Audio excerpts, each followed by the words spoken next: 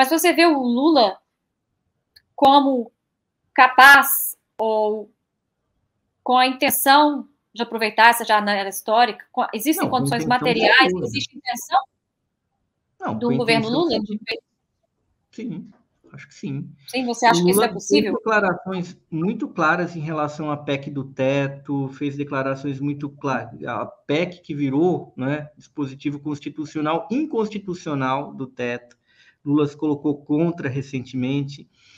É, Lula se colocou contra a destruição dos direitos trabalhistas que o Temer fez, Lula bateu na questão dos militares, o Lula tem falado. Ele precisa ter uma maioria parlamentar para realizar isso.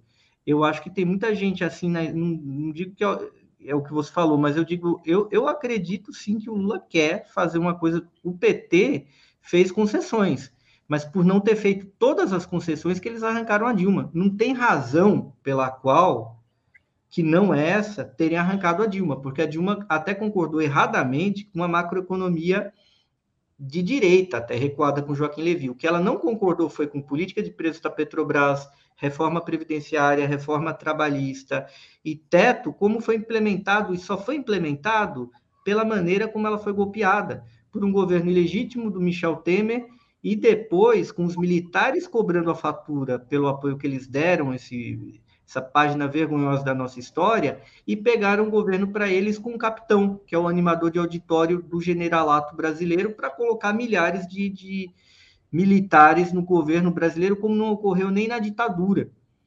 Então a gente tem que ter dimensão quem são os nossos inimigos e que a gente tem de fazer a disputa real interna. Eu não vejo outra estrutura capaz de fazer essa mudança, eu estou falando de concretude, não mundo das ideias. Eu acho que tem iniciativas de esquerda muito boas pipocando por aí que podem gerar ideias que no futuro frutifiquem e façam uma transformação à altura daquilo que a gente precisa. Mas para confrontar é, é, esses perigos, esses problemas imediatos, a gente tem de centrar as nossas energias em torno do Lula e numa disputa dentro de um eventual governo do Lula com Alckmin de vice, sim. O Lula não foi ser visto Alckmin, o Alckmin que veio ser vice aqui. É isso que a gente tem e é com isso que a gente tem de lutar, inclusive para fazer disputa interna. Eu acho que a gente não tem, eu acho que infelizmente até para o próprio Lula, que gostaria de estar tá casando, tranquilo, cuidando dos netos, vivendo a vida dele, o Lula não queria estar tá aqui. Por que, que o Lula está aqui também? E por que, que não tem gente mais jovem? Então, a gente também tem de fazer a nossa autocrítica geracional de não ter produzido novas lideranças e novos instrumentos. E a gente tem de usar essa oportunidade para reunir forças e avançar. Mas é um avançar que não é um destruir o que está feito. Eu acho que, em grande medida, uma das figuras da esquerda radical que progrediram é, bastante, que se encaminha com uma liderança como Guilherme Boulos, é porque ele teve a sensibilidade de perceber que dar um passo adiante não implica em destruir é, partir para um antagonismo com esse legado do Lula, mas é que é preciso a gente dar um passo nessa direção e não negar, fazer revisionismo histórico. Tenho amigos muito que discordam de mim, mas eu sempre coloco isso para eles. A gente não pode jogar o bebê fora com a água do banho. A gente tem que ser criterioso, separar o joio do trigo e avançar nessa nossa experiência. A gente não pode ser essa coisa tão. A gente tem que ser mais chinês do que soviético.